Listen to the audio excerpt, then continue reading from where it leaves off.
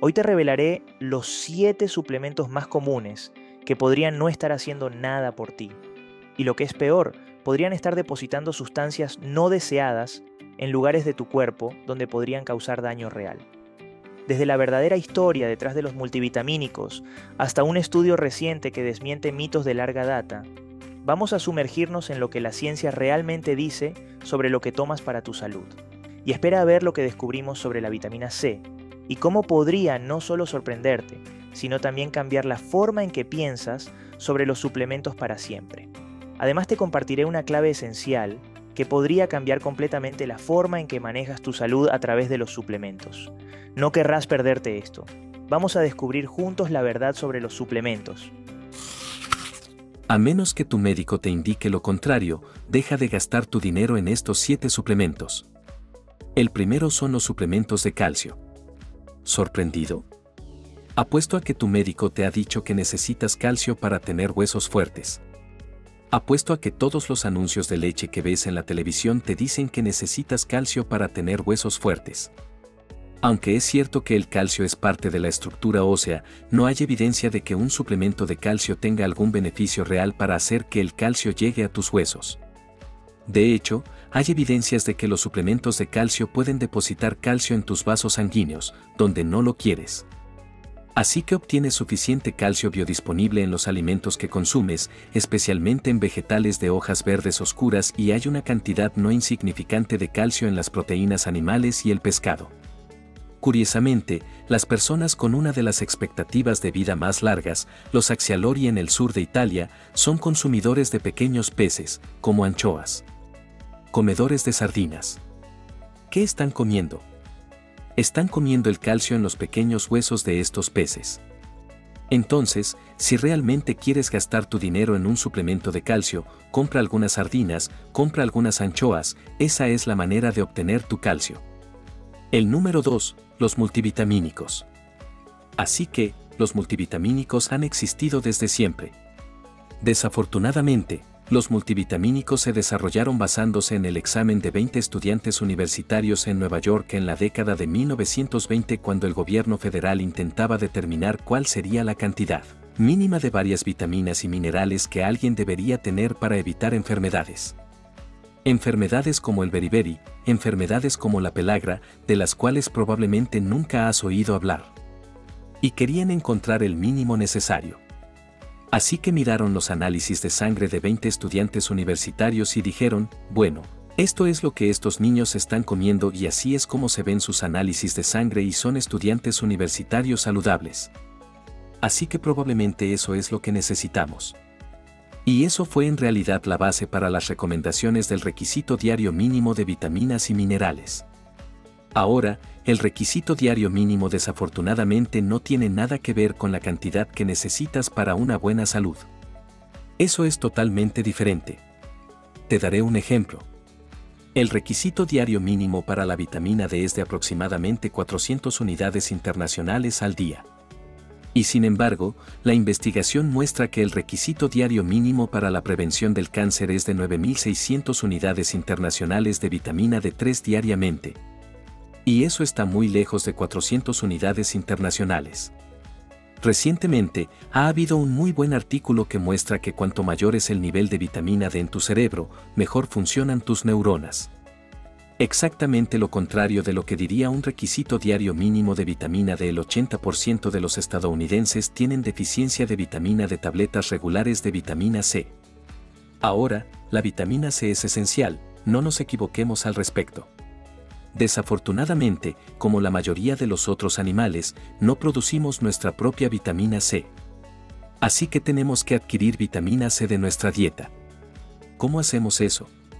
Bueno, hace tiempo, se conjetura que los grandes simios y nosotros dejamos de producir vitamina C porque siempre estábamos comiendo vitamina C viviendo en selvas tropicales.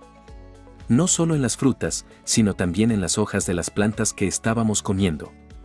Los conejillos de indias no producen vitamina C por la misma razón. Ellos la obtienen de su dieta. Curiosamente, la vitamina C se produce a partir de la glucosa y hay cinco genes que controlan estos cinco pasos enzimáticos que toman la glucosa y la convierten en vitamina C. Nos falta el quinto gen. Es un gen fantasma. ¿Por qué es eso importante? Tomemos las ratas. Vamos a modificar genéticamente a estas para que lleven la ruta de producción de vitamina C humana donde el quinto gen es un fantasma. Esas ratas viven vidas un 50% más cortas que las ratas que fabrican su propia vitamina C, vaya, un 50% más cortas. Ahora, aquí está la noticia emocionante. Si pones vitamina C en el agua potable de esas ratas deficientes en vitamina C, vivirán exactamente tanto tiempo como las ratas que fabrican su propia vitamina C. Entonces, ¿qué te dice eso? Realmente tenemos que tener una fuente continua de vitamina C en nuestra dieta. ¿Cómo lo haces?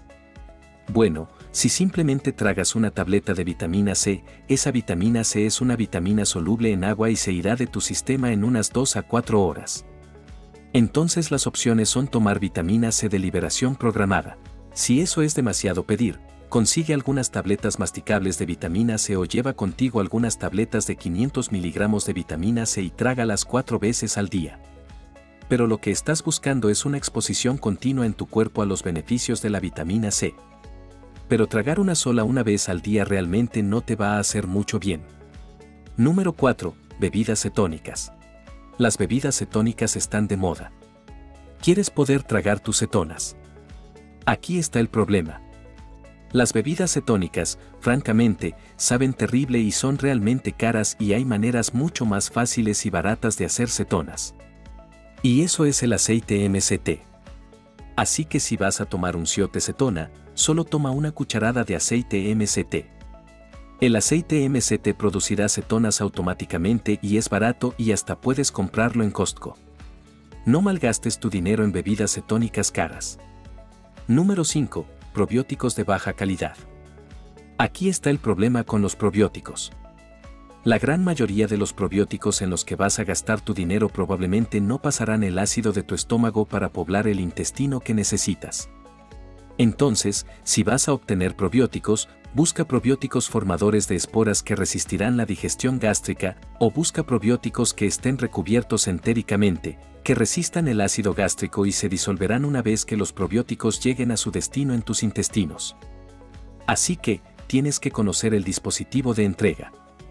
Ahora, otra cosa importante que debes saber sobre los probióticos es que casi todos estos probióticos no son nativos de nuestro intestino y se irán de vacaciones en nuestro intestino si pueden llegar a tu intestino, pero se irán después de un par de semanas.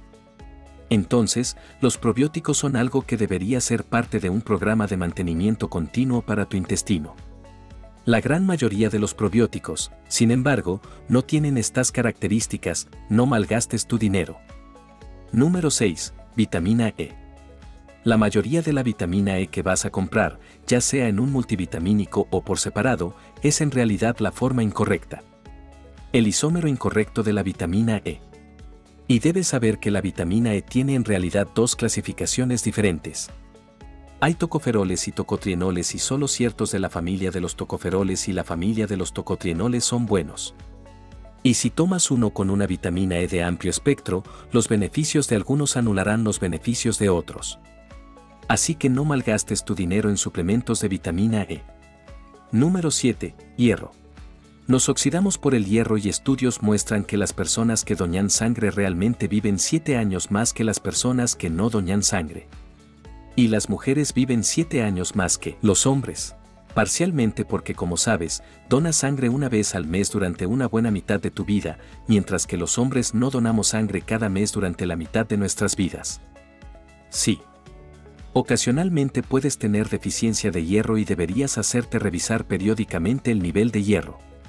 Algunas mujeres tienen periodos muy abundantes y pueden necesitar suplementación temporal con hierro. Hombres, si tienen una deficiencia de hierro, o mujeres, después de la menopausa, si tienen una deficiencia de hierro, eso es motivo para que tu médico busque por qué eso es así. Porque la pérdida de sangre es la causa de la deficiencia de hierro a medida que envejecemos y no hay nada en ti que deba tener pérdida de sangre. En resumen, antes de gastar dinero en suplementos, es crucial informarse bien sobre sus verdaderos beneficios y riesgos. Muchos de los productos disponibles pueden no solo ser innecesarios, sino también potencialmente perjudiciales. Esperamos que este análisis te haya proporcionado información valiosa para tomar decisiones más informadas sobre los suplementos. No olvides que puedes separar una cita con nosotros desde cualquier parte del mundo que estés, antes de hacer cambios en tu dieta o régimen de suplementos.